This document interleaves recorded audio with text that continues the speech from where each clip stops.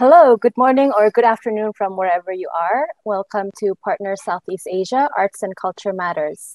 My name is Camelia Harahap, or Kemi for short, and I am the head of arts in Indonesia, and I will be your MC for this session today.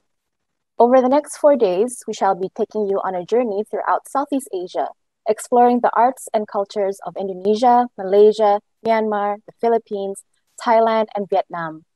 We hope that this event will stimulate all your senses through the diversity of cultural expressions and practices found across the region. We intend to open your eyes to the array of opportunities that the region can offer, and that over the course of the next few days, you will be more knowledgeable on the region as a whole. We also hope that you can connect with your peers and counterparts through the various networking functions that the Hopin platform has to offer I will go through the event program in more detail at the end of the session. However, in brief, we have five country briefing sessions and three thematic sessions, as well as a live networking session on the last day. In total, we have over 70 amazing speakers for you lined up. Focusing back to this opening session, we will have some opening remarks, a keynote speech, a panel discussion, and some closing reflections. But without wasting any more time, I would like to hand over to Caroline Meaby, Director Network Arts at the British Council, who will make the opening remarks.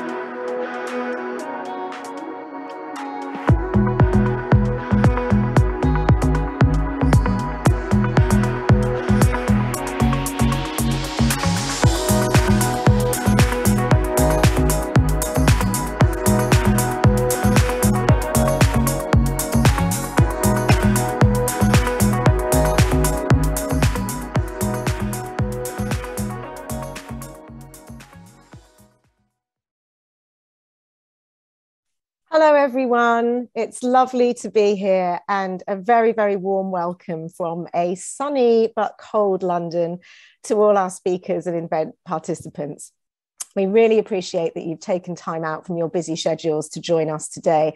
This will be a really, really exciting event. And I have, first of all, have to say thank you to Kemi and all my colleagues who've worked really, really hard for weeks and weeks and weeks now to put together this event. It is really, really exciting. Um, and I can't wait for you all to enjoy it. At British Council Arts, what we do is we find new ways of connecting with and understanding each other through the arts. And we do this to develop stronger creative sectors around the world that are better connected with the UK. So this is excitingly the very first time the British Council has organised an online event of this nature, where we're connecting UK arts and cultural practitioners with their counterparts from Indonesia, Malaysia, Myanmar, the Philippines, Thailand, and Vietnam. As we all know, the arts and culture sectors globally have been hugely impacted by the effects of COVID 19 over the last 20 months. I think we've all really felt the loss of opportunities to meet face to face with international peers. Like most organisations, the British Council has had to adapt to new ways of working, um, and that involved for us connecting virtually, like this online event. So we're really excited that this event will provide a platform for you all to learn more about the arts and cultural sectors of the really, really vibrant Southeast Asia, uh, Southeast Asia territories, to exchange ideas and importantly, to interact and to meet other individuals and organizations that resonate with what you are doing. We're very, very keen to facilitate and make those connections possible. This is, of course, not the first time we've supported connections between the UK and Southeast Asia. In 2016, we ran a three year program called UK ID Festival, which planted the seeds for new relationships between the UK and Indonesian creatives. It's brilliant that these relationships have grown and they are still flourishing today. We're also really proud of the Southeast Asia Connections Through Culture grant program, where we provide opportunities for UK and Southeast Asia creatives to work together on joint projects. We started this program in 2019, and since then, we've supported over 100 international collaborations, spanning everything from research to residencies. So, we very much hope that this event today and over the next few days will be the first of more events like this to come. At the British Council, we value the importance of supporting mutual and equitable artistic and creative collaborations. And we intend to continue this, whether in the virtual world or in person, or perhaps even a mix of both. Let's see where technology takes us in future. We encourage you all to actively participate join the various networking opportunities provided through the event, be that one to one or in the breakout rooms. And lastly, please do share your experience and feedback of the event. Um, as we've said, this is the first time we've done this, so we really want to get everything that we, we really want to hear everything we can to make sure that future events are the best that they can be. Thank you so much and enjoy the event.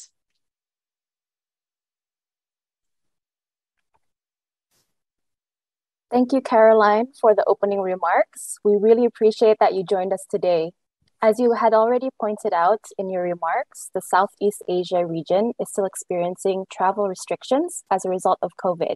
And hence, we felt that this online event is the best way to stimulate new connections whilst offering a good opportunity for those who would like to be reconnected until we are able to easily meet in person.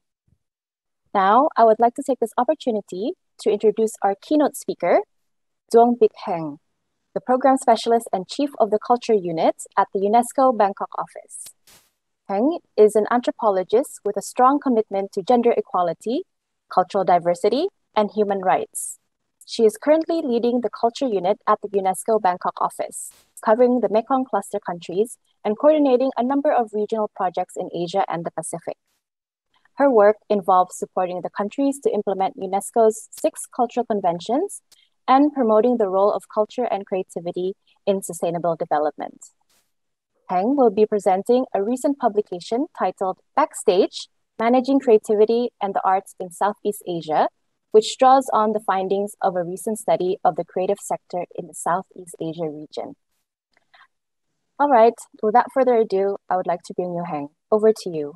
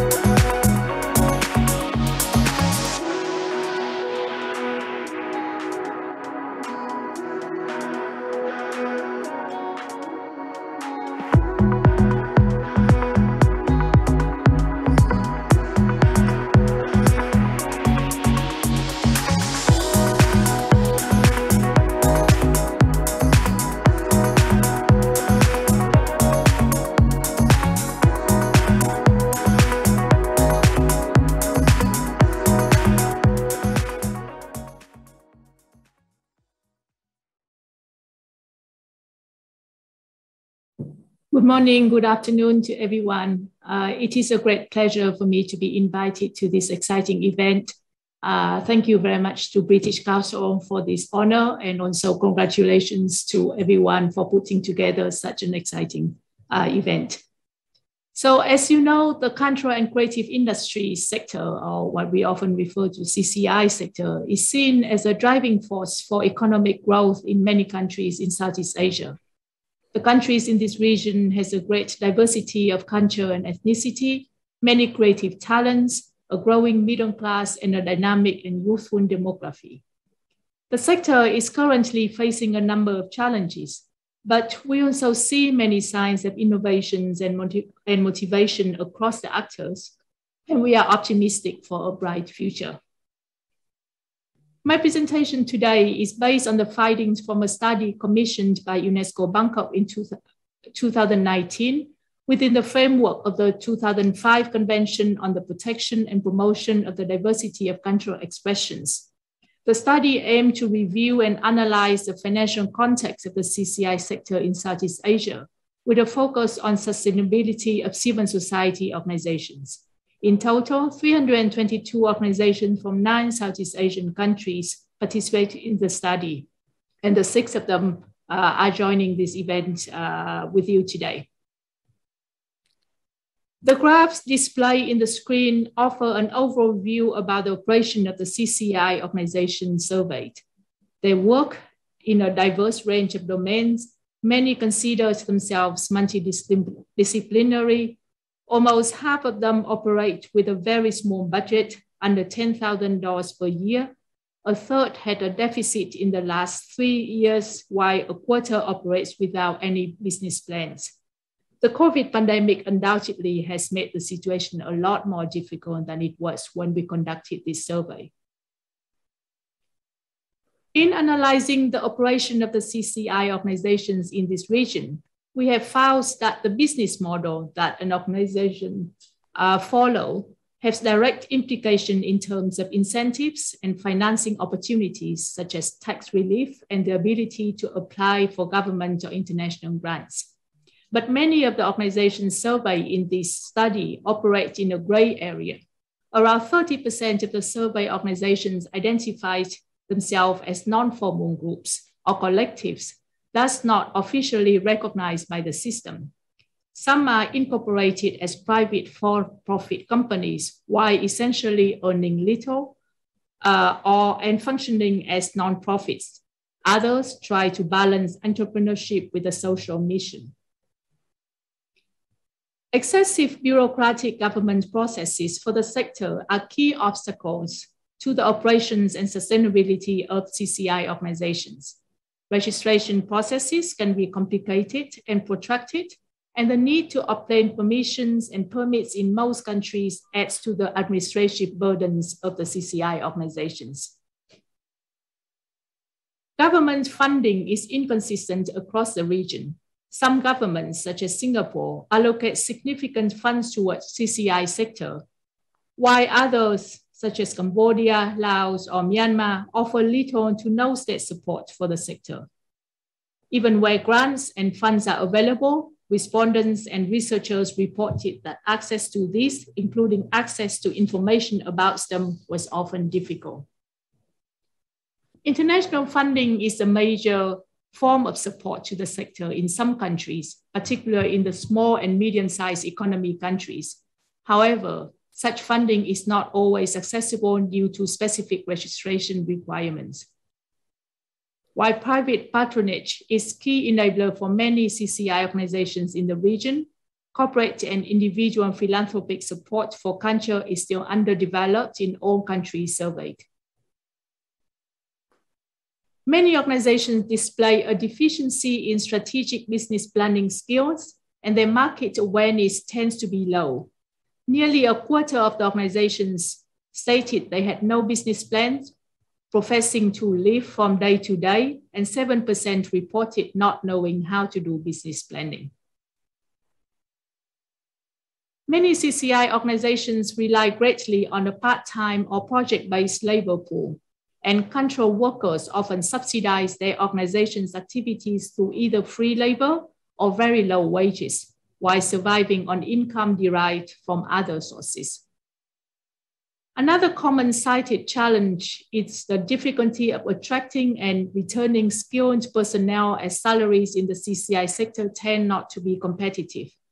As the skills required in the creative industries are essentially transferable, staff often move out of the sector into related areas such as hospitality and tourism, which offer more sustainable and higher income. Many organizations reported not having enough staff trained in business and administrative skills. Collaborating with findings of the UNESCO Creative Economy Report 2013, which observed that capacity building within the creative economy sector was still in an experimental stage in developing regions.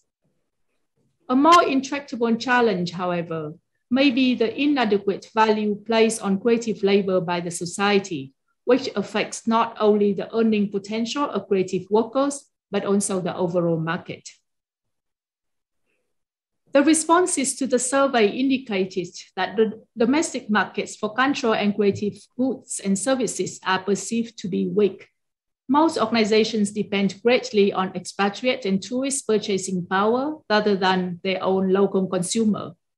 Even in countries like Singapore, where the appetite for arts and cultural events has grown significantly in recent decades, arts companies reported challenges in attracting ticket buyers and expanding their audiences.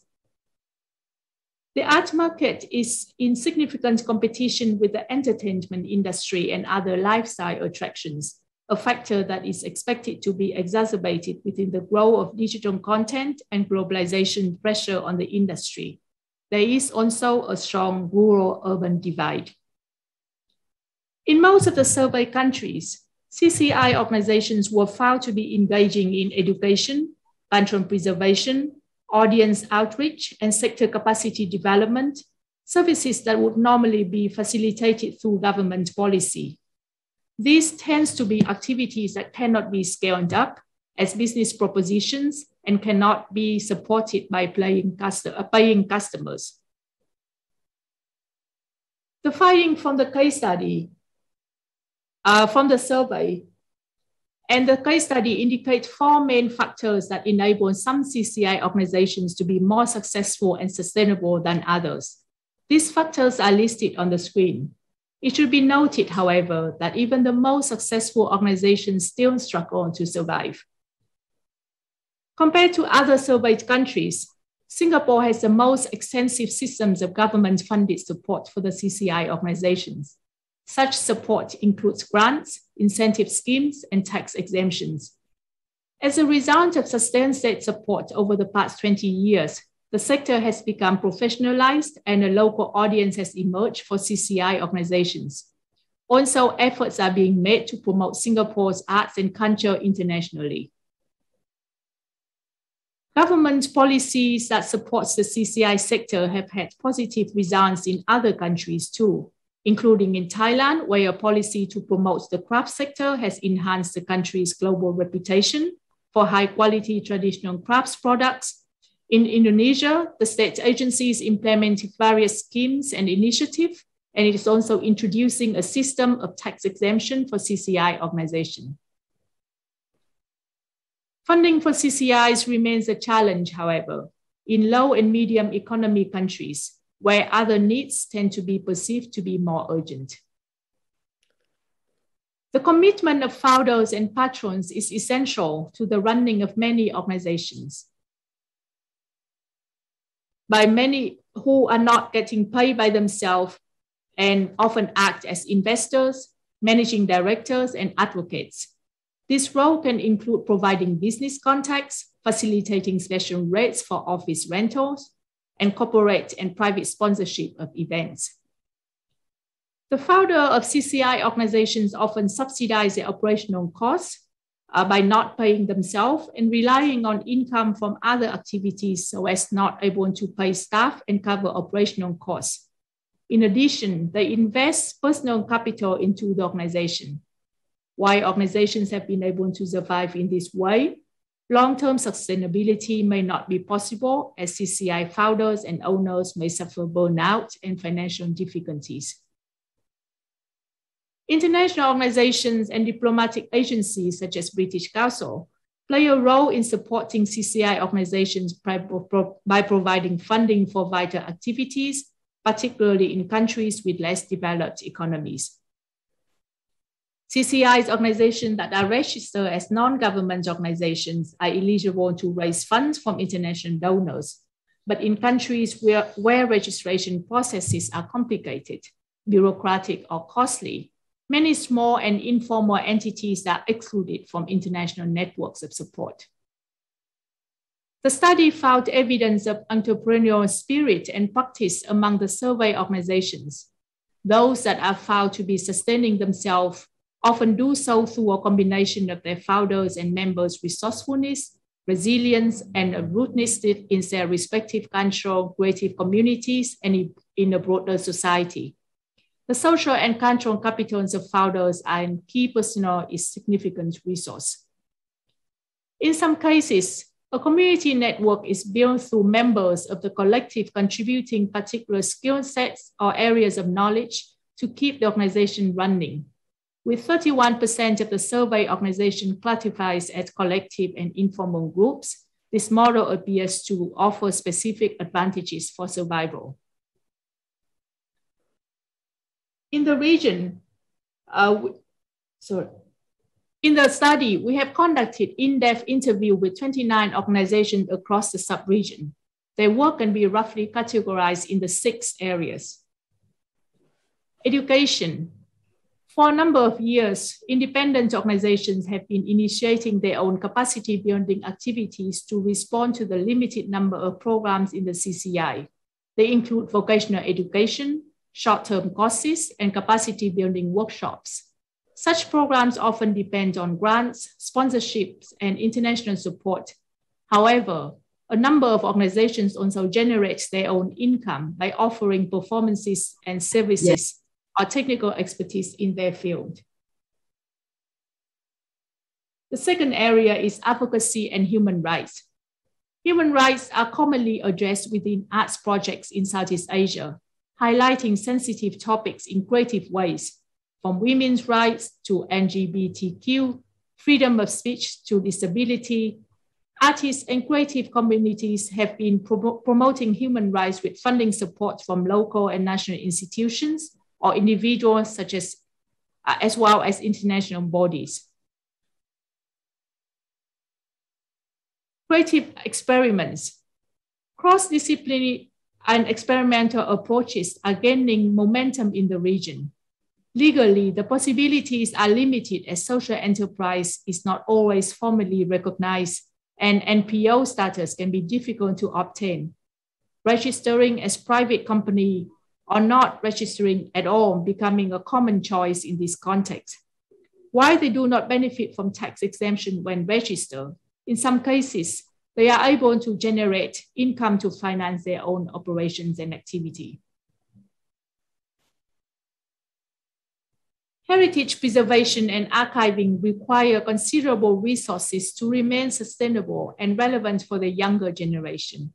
From government-funded programs to self-financed archives and privately sponsored spaces, Examples from the region show that the process of preserving culture is not necess necessarily led by the governmental body, but can also be initiated by informal groups of passionate individuals. The understanding of arts and culture across diverse audiences is fundamental for the sustainability of artistic practices and the intellectual development in the region. Self-finance projects and volunteer networks have played a vital role toward art promotion and dissemination in Southeast Asia. Various models, including NPOs and commercial entities, often behave as support hubs for the arts community. In the case of festival, dedicated leadership as well as uh, and well-coordinated efforts are necessary to deliver international exposure and the accessibility to diverse artistic contents. Festivals and events in Southeast Asia strongly depend on informal networks and the development of a solid audience base, most often consolidated through private sponsorship and individual support.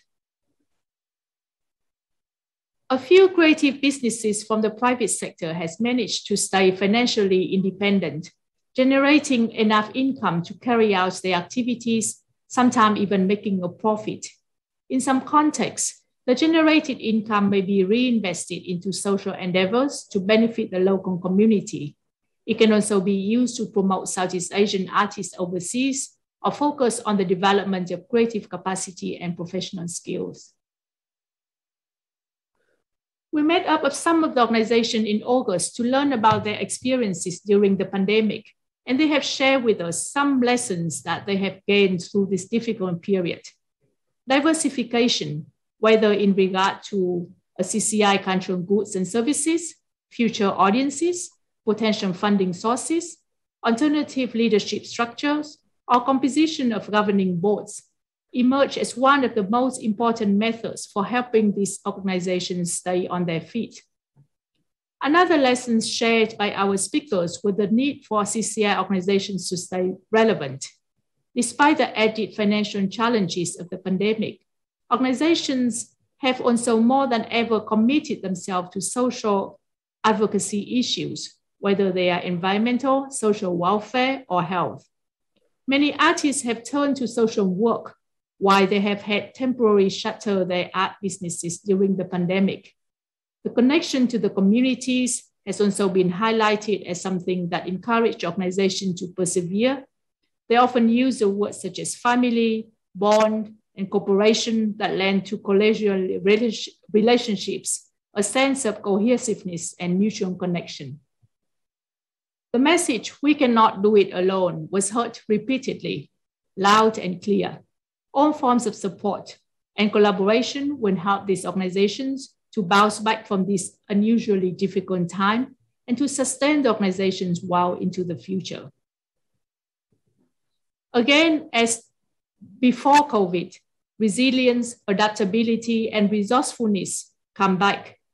These are the words that most characterize the CCI organizations and the creative sector in Southeast Asia as a whole. Based on these findings, we have generated a number of recommendations to further strengthen the CCI ecosystem in the region. Among these five recommendations, a few areas highlighted can shed light for the potential collaboration among the Southeast Asian and the UK creative sectors. First, this is the area of collaboration for co-learning to develop skills of artists and creative cultural workers. There will also be great needs for activities that contribute to audience development internationally, but also domestically. We also very, very interested to see more opportunities to strengthen the collaboration across the uh, Southeast Asian countries, which I believe that British Council is already spearheading and leading very well in this region. And last but not least, since many collaboration often concentrate in national or regional capitals, there are a lot of potentials in smaller cities or even in rural areas at the subnational levels. The CCI organizations here are often in more disadvantaged positions, and the opportunities for them to grow, to tap into a wider regional and international networks will not only assist them to sustainably grow, but also to narrow the rural urban divide and to ensure that development is more inclusive. So I invite everyone to come to visit our website where you will see the full publication and you can also contact us for further detail. Thank you very much again for listening. Thank you so much, Hạnh, for helping us to set the scene by providing some very useful insights on the arts and cultural sector in the region. I really encourage everyone to go to the Southeast Asia Pavilion space, which is on the left side of the Hopin platform, and download the full report to gain even more knowledge on the region. Thank you once again to Hạnh for your presentation. Next, we have a panel discussion moderated by Angela Chan. Angela is the head of inclusion and doctoral researcher at Story Futures at Royal Holloway University, where she is applying her expertise in inclusive innovation to unlock the potential of creative businesses and promote underrepresented voices.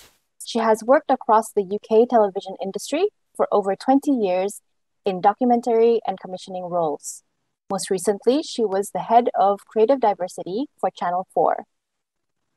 She currently sits on the British Council's Arts and Creative Economy Advisory Group and NatWest's Ethnicity Board and is an advisor for, for the Sir, Hen- Sir Lenny Henry Center for Media Diversity. Angela will be in conversation with six panelists, three from the UK and three from Southeast Asia. I'll hand over to Angela Sood to provide more info on the discussion topic and the panelists.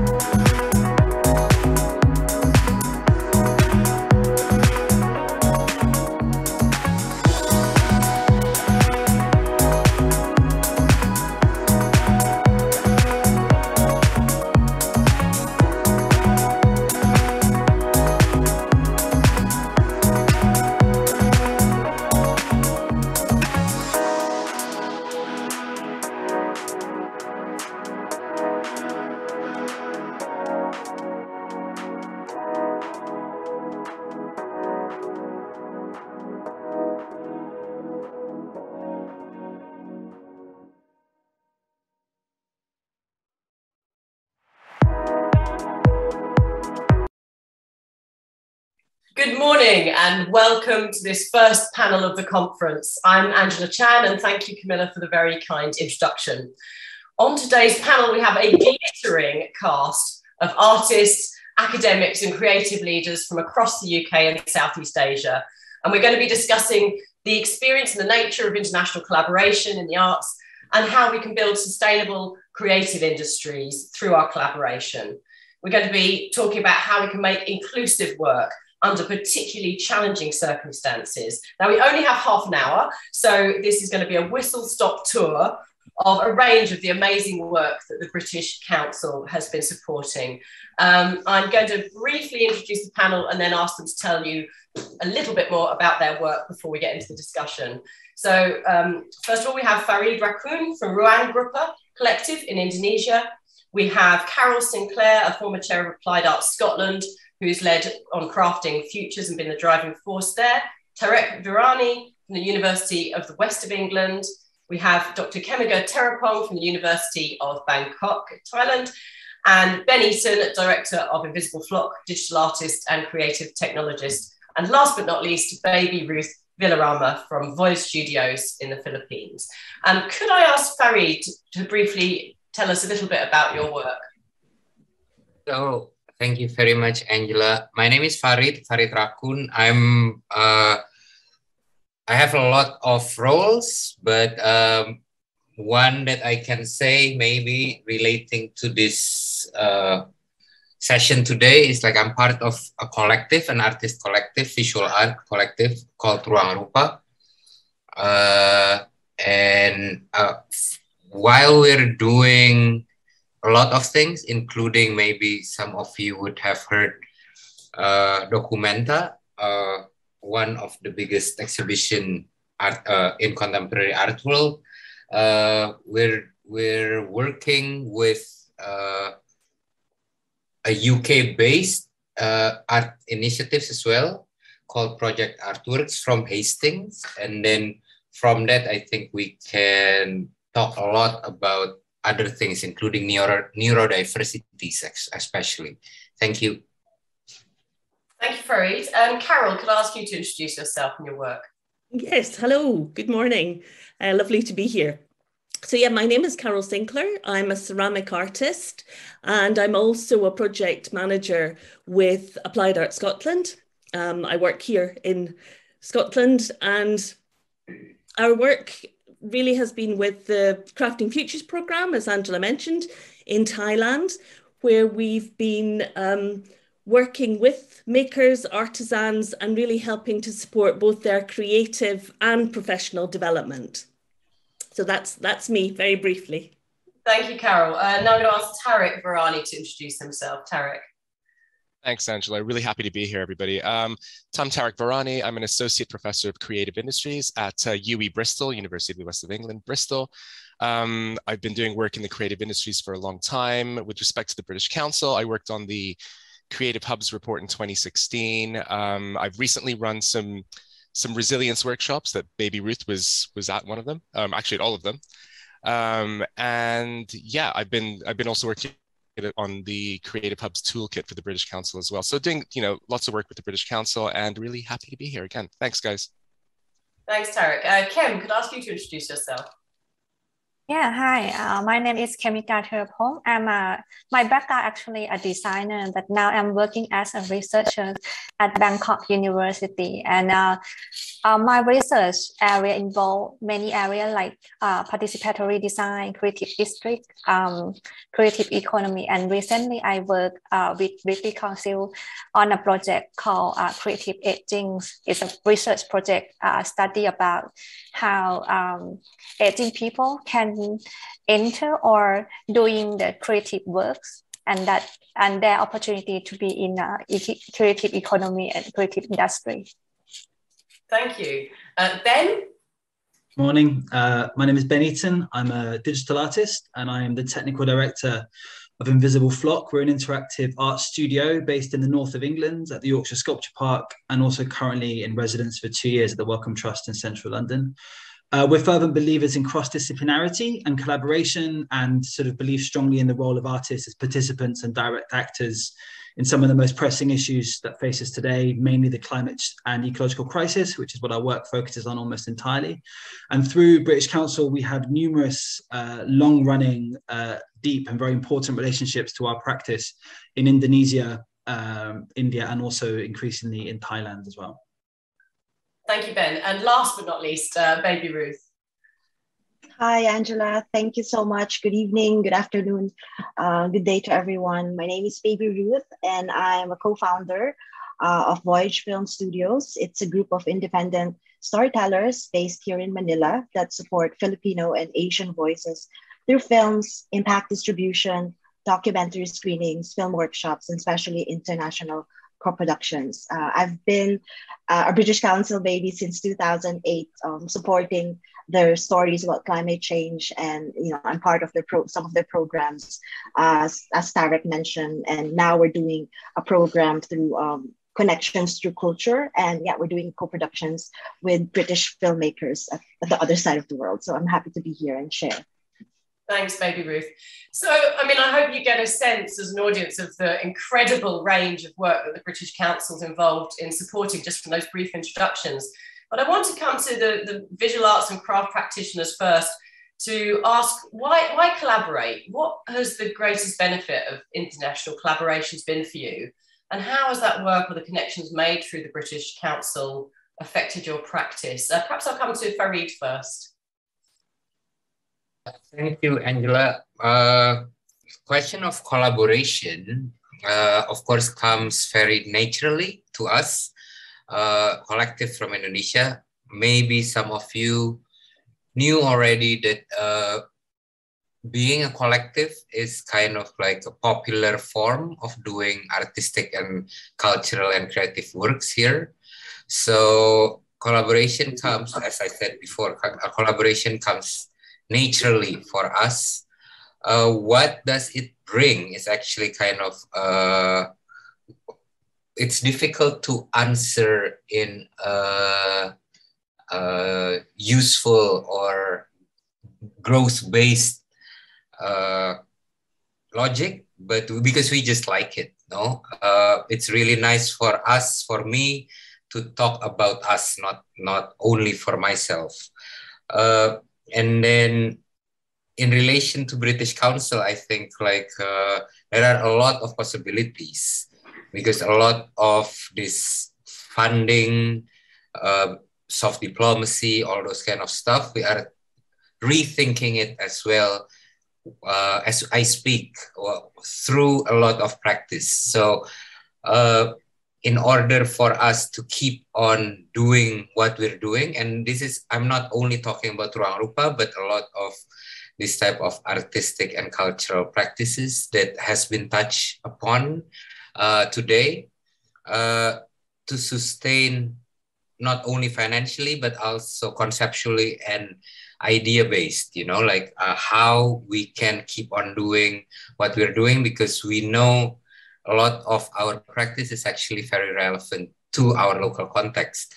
How to connect these localities. So instead of building an umbrella, a global umbrella that that kind of like uni make everything uniform, to connect these dots with uh, with dotted lines even would be great. And collaboration, naturally, trust building, all those kind of stuff uh, is something we fall into over and over again so far.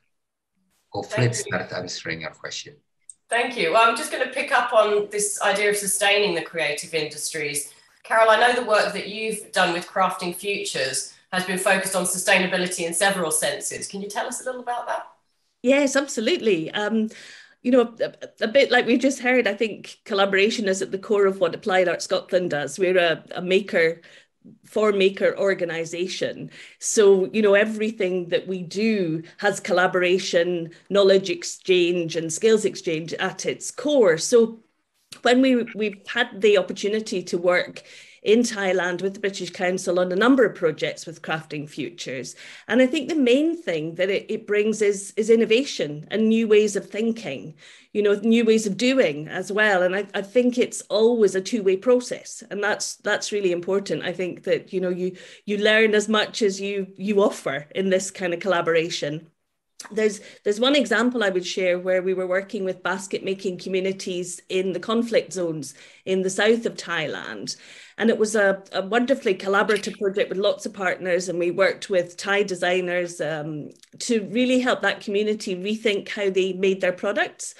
Um, so you know they have really sort of traditional skills and traditional products that just didn't have a market so together we were able to to work with the community to do to reinterpret the work to express you know how they felt as a contemporary society and it led it was a really powerful project that led to a real increase in in sales so sustainability at that level you know of really looking at sustainable livelihoods but also using sustainable local materials, which was really important. And I think too that it was just so inspiring to see the increase in confidence, the increase the body language changed as as these, you know, sort of uh, collaborations took hold. And really importantly, it was an opportunity for that community to celebrate its identity, to really sort of feel proud of that and feel that it, it sort of it brought together tradition and contemporary in a really uh, sustainable way, which was so inspiring. And I think that's where the international collaboration really comes in. It's it's an opportunity to really think differently, to have a sort of mirror against your own practices and start to, to think differently about what you do um, to kind of really understand the connections. It's quite remarkable, you know, particularly when you're making, you have connections through your hands that you perhaps don't have through your language. Um, but also to then sort of uh, understand a little bit more the differences and celebrate those differences you know so huge amount of learning huge amount of inspiration and things that we've taken forward into other projects you know it's been really incredibly useful to to build um, you know our, our sort of scope of other projects um, through the british council Great. as well Great, thank you, thank you, Carol. Um, I want to come to um, our academics, so your academic practitioners, of course, as well. But Kem and Tarek, I'm really interested in how this um, uh, you know, how growing creative communities in this way leads to those benefits in the creative economy. I know that you've both been behind some of the creative hubs work that the British Council's been doing. What has your research found the benefits to be of working in this way? Perhaps I'll come to Kem first. Yeah, um, it's actually so when we talking about collaboration, we we tend to think about uh, the collaboration between individuals, like individual artists and individual craft makers, individual designers. So they share between them like the techniques, material, and things that support each other. But in in my studies, uh, in my studies, both in the, the creative aging one and the creative district and creative hub ones, we found that it's it's become strengthen their ability and their opportunity when the collaboration is not only from individuals, but start from individuals and then going to communities, between individuals to communities and between communities, and then between organizations. And then British councils or other international uh, organizations can bring out linking between different countries, sharing between different um, cultural aspect and cultural background or context. And that's we, the way we learn from each other. And that is really important in my opinion. I see. So some of that British Council work can act as a catalyst. It might be a, a limited project, but actually the ripples outwards are, you know, they have a wider impact, right? Uh, yeah. Tarek, what about your research? What have you found? Um, I mean, I just wanted to, to make a point of, you know, just on the back of what Kem was talking about. What's really important here is this idea of, of a global creative ecosystem. And I think um, UNESCO, um, it was Hạnh who basically who talked about that a little bit in the previous presentation. I think this idea of of hubs as being anchors, especially local anchors for ecosystems, is a really important point. And that's where my research really kind of focuses on this notion of moving between this idea of, of clustering um, or the agglomerative effects, I guess, of creative and cultural activity and how it benefits um, local areas and, and, local communities. So creative hubs um, are vital to that because they um, they anchor a very very fluid sector. I mean, we all know that if you're part of the creative and cultural sector in any country in the world, you're sort of like you're fluctuating between different types of organizational setups. You're a freelancer at the same time you're running your own company, at the same time you're working with somebody else, at the same time you're doing this. So that hustle sometimes needs to be sort of anchored, or at least there needs to be a focal point. And I think um, hubs provide that really nicely vertically and horizontally. And actually, you could think of the British Council as a bit of a hub as well. Um, not a bit, actually, a virtual hub on many levels. Um, or at least that's something that you know to to aspire to. The connections and the networks are vital, are, are important, and actually solidifying what those look like, the strength of those networks actually becomes becomes important as well. And that's where the agents come in to to solidify that. So yeah, my research kind of fluctuates around that stuff. really interesting, really interesting. Thank you both. So I want to come back to um, practitioners who've been leading some of these projects. Um, ben, I know the work that you've been doing has connected communities around themes like the environment and Baby Ruth, yours around the advantages and challenges of having a global documentary practice where you can bring in all those different voices. How has how has the nature of that international collaboration changed for you over the past two years? Obviously, it's a really challenging environment. What have you been able to, to do to make those connections? Um, ben, I'll come to you first. Sure, yeah, thank you.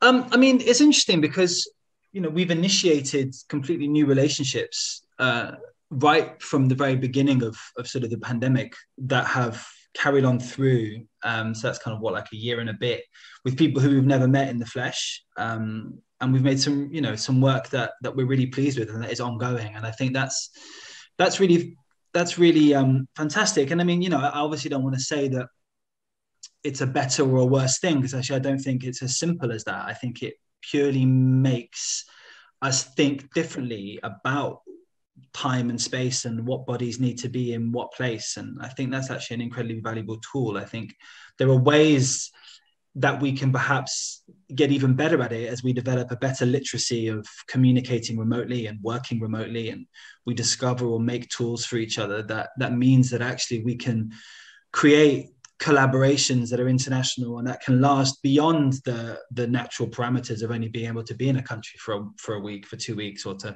have people over here or you know and suddenly you can think about budgets differently and timescales differently and projects can take place simultaneously in multiple locations or can take place entirely online. And i think you know that was always there but there's almost that thing of when you don't have a choice but working in that way it somehow legitimizes practices that perhaps were a bit more fringe or we're a bit more on the edge and actually suddenly it legitimizes uh, these more uh, uh, less physically heavy but no less perhaps important works that can take place.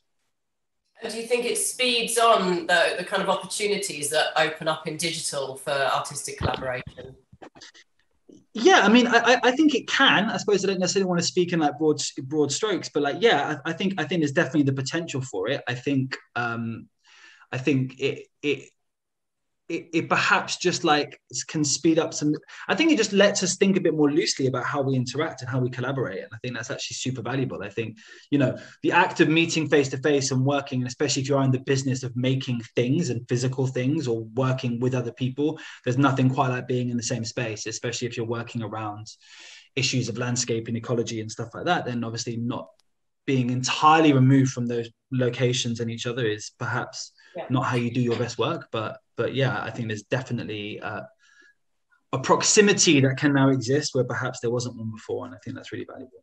Brilliant. Thank you ben for that example. And baby ruth more opportunities or challenges for you in the last couple of years as a result of these new ways of working?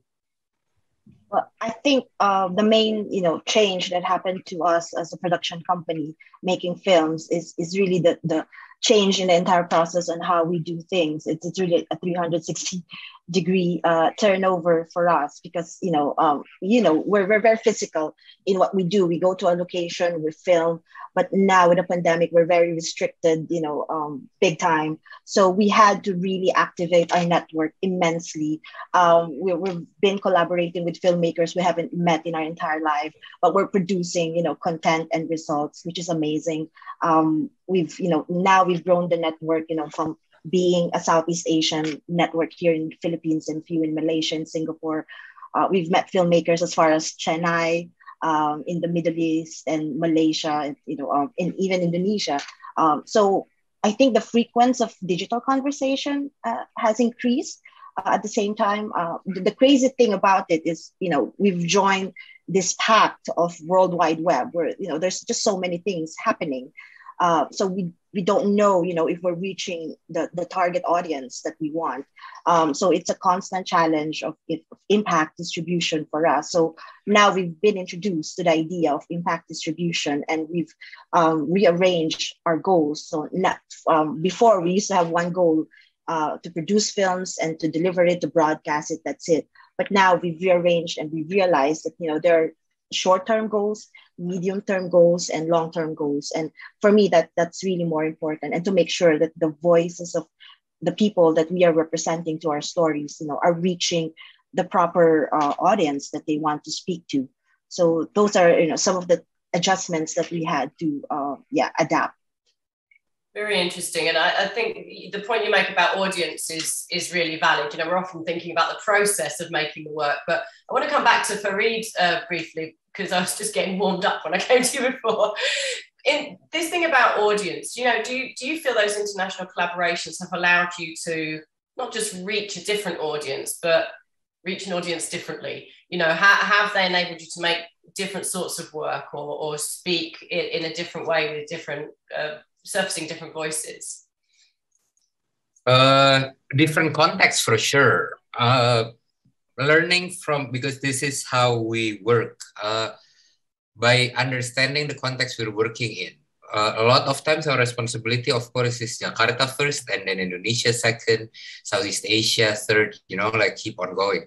But uh, if we're forced every time we're forced to face a new context then it's kind of like our ecosystem got enlarged, although it's still temporarily, no matter how temporarily it is, but it's kind of like a good waking up call every time. So things that we took for granted, like uh, to waste time towards each other, for each other, all those kind of stuff that we thought it's kind of like natural for a lot of us. It's actually kind of like difficult to practice in any other context. Just citing one very blatant example. But because of that, we're kind of like uh, honing and sharpening our sensibilities because of those challenges every time. It's interesting. So there's sort of efficiencies that come through these ways of working as well. It's a terrible word to apply to arts in a way, isn't it? Um, I'm really curious with this shift to digital. You know, I know that one of the themes of the conference is inclusion. Have any of you noticed the um, obviously there's opportunities, but are there new forms of inequality that spring up um, through that shift to digital? Kem, you've been working with um, older people, haven't you? Yes. Yeah. You, uh, uh, what do you, how, do you do you feel that you have to somehow balance out um, what kind of work you do around you know with the shift to digital? Actually, the older people they really like to engage in digital world. You know, like it's really in that way. Because uh, I have one one case that uh, they do like uh, train the older people to use um, social media network and to train them to be YouTuber, to train them to be the content creator or photographer, and you know, uh, exhibit um, their works online. They are digital artists because of um, influence from from from from the people like younger people. So they can do as well. So they, they really like to go but if if to go online but if they don't have that opportunity to learn or to train it's, it's still difficult. But in in in that study they in, increasing the number of uh, the aging that enter to the to the digital world recently yeah Thank yeah you. And, and Tarek, I know you have thoughts on this as well, more through, through the shift to digital. Yeah, um, coming at it from, I guess, uh, the creative hubs perspective as well, I guess there's, there's been a lot of challenges around digital haves and have nots. And I think going back to what Hạnh was saying as well about the sort of urban to rural divide in, in Southeast Asia, which throwing up a problem as well. I mean, even in the UK, we, we know that there are digital problems in, rural, you know, it's really difficult to get a, a signal, you know, if you're out in the, in the countryside or whatever it is. So there is there are challenges there. I think they're quite infrastructural. Um, but then there's a whole there's a whole slew of other things as well that need to. And I'm sure in this decade we'll, you know, we'll iron these out. You know, this we I think things are going to look very different by 2030 than they do now based on the fact that we're you know we're moving shifting everything to digital but yeah right now i think there are challenges there are infrastructure issues other parts of the world have it's it's a huge cost to get online as well so that's an added cost to actually running your own creative and cultural organization as well so some of the challenges are infrastructural as much as anything about being able to provide data and not making assumptions. Uh, ben, sorry, you had your hand up. Yeah, sorry, I was going to say, yeah, just to Tarek's point, which I think is 100% correct. I mean, hilariously, our studio runs off a 4G dongle because we can't get uh, broadband where our studio is in, in the UK. But I think also there's there's like uh, there's you know there's, there's a diversity of digital cultures as well, and I think you know the digital arts in the UK, not to paint too broad a picture, but are often very focused on ideas of innovation, and innovation often means newer, shiny, bigger. And I think there are very uh, fascinating emergent digital cultures that exist in other parts of the world, which do not necessarily prioritize um, that sort of attitude towards technology and instead think of technology in much more fascinating ways. And I think that was certainly our experience of Indonesia when we first went. And so I think there's also a digital diversity, which is the risk that you apply a single digital aesthetic, which is like a Western American platform driven one, onto cultures where perhaps actually ways of thinking about digital is very different. Can I add to Can I add to that really quickly? I mean, it's such a such an important point, Ben. Um, quick example: um, a couple of years ago, I was involved in a project in China where they were basically they craft makers had cameras within their in their rooms to actually show um, audience, I guess, people that were that were sort of tuning in, um, how they were making the things that they were making, and they were selling them in real time. Um, just just this idea of a collective kind of way to approach audience creation and you know sort of skills and individualization as well as it comes as it pertains to the internet. Um, yeah, exactly. I mean, all over the world, it's it's different, you know, in other parts of the world, and it's something that we can definitely learn from in the UK for sure. Anyone else want to feed in on that point? Carol. Yeah, I think we were we were sort of ahead of the curve slightly in that we were creating a digital version of our sort of in-person workshops um, and created a craft toolkit a couple of years ago, and we had some in-person training in Bangkok to launch the toolkit, and and it was really interesting. I agree what what Kimmy was saying about older people were very excited to be part of that world and I think that's one of the things that we have to do is just gently introduce people and say it's just another tool in the toolkit. It's not a, you know, it, it, it opens up worlds and it certainly opens up connections. Um, and I think makers, particularly when they are used to doing things with their hands, they've perhaps been a little bit more reluctant. So if we can introduce people very gently to the digital world, I think it, it makes them feel included and excited you know so i think we should we should continue. And we've been really lucky that we've now through british council support been able to translate our toolkit into indonesian and malay. So we're opening up those worlds of interconnectivity uh, day by day and adding a sustainability module to it that will be launched next year. So just an opportunity for a quick plug there. Brilliant. Um, Brilliant. i'm interested um, sorry who was i missed who was speaking. No yeah i mean i just want to add uh, one of the things that we uh, realize as well in this you know new normal as we say is, is really the educational sector. And uh, i have to give credit to the british council you know uh, when we were uh, supposedly organizing a documentary festival a physical festival and then the pandemic hit us uh, we realized that you know the blended education when, when students trans transported their ways of you know learning uh, to digital uh, there's a, a, new audience for, for for films you know to to be consumed uh, for educational use. And the digital platform really uh, helped the educational sector and through the network of the british council uh, they were able to connect the documentaries to the educational sector. And now uh, documentaries are slowly infusing their way into the curriculum uh, at least here in the Philippines. And I know that there is a group there in the UK that we've just met recently that does documentaries, short documentaries uh, for digital use uh, in education as well. So that, those are one of the things that, you know, that uh, change the way we do things, uh, at least here in, in the Philippines. Brilliant, thank you. Now, sadly, we're going to have to bring this to the close. I could literally listen to you all, all day. Would anybody like to bring us out by just saying what they feel the most important thing about that sort of British Council support has been? What would you say to anybody listening who's thinking about getting involved? I'd just like to say that working with the British Council oh, takes you absolutely. Oh, sorry. Go for it, just going to say that I, I think working with the British Council is such a privilege because it takes you right to the heart of the community that you need to reach. It's really efficient way of working. It's really inspirational, and there's just no way to to make those connections without your, you know, of British Council colleagues and their knowledge and expertise. One of our colleagues from Southeast Asia outside the UK, Farid or Baby Ruth. What's the value um, been for you? What would you recommend for other people? I, I think it, it's really, you know, the way, you know, people are gathered together like this event. Um, and it, it really upped the ante for everyone, you know, um, uh, at least in terms of doing our practices, uh, we get to learn at the same time, we get to offer our voices and, you know, we, we, we get to, uh, yeah, see the standards where we're going and define, you know, the, the road uh, for the next, I guess, three to five years, you know, through these exchanges that we're doing right now.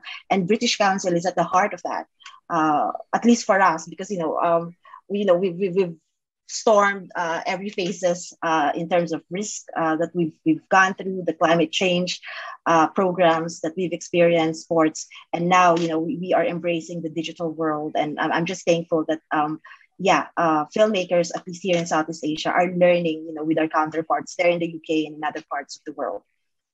Okay, it's going to break my heart. I've got to bring it to a close. Thank you all so much for your contribution. And I hope those of you in the audience will have a chance to meet some of these wonderful panelists in the networking sessions. Thank you for your time and your contribution. Thanks, Angela. Thanks, Angela. Thank you. Thank, Thank you. you very, very much. Thank you. All right. Thank you so much to Angela and all the panelists for joining us and sharing your rich experiences, of, as well as, of, of course, the international collaboration aspects. We are so sure that you have inspired and motivated our audiences to consider international collaborations as well as the benefits that they can bring. Further, our last speaker for this session will be Hugh Moffatt. Hugh is the country director of Indonesia and the Southeast Asia cluster lead.